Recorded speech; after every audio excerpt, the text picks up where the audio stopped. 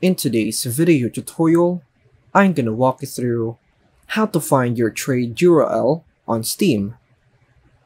Make sure to watch the complete tutorial at the end of this video, as it is a straightforward process.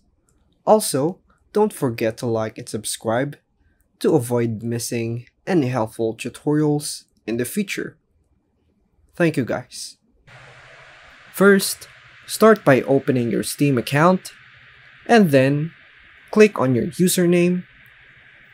Once you're on your user page, locate and click on the inventory option. Next, navigate to trade offers and select it. Then, click on who can send me trade offers to access the relevant settings. Finally, make sure to copy the provided link. And that's all for now folks. Thanks for watching.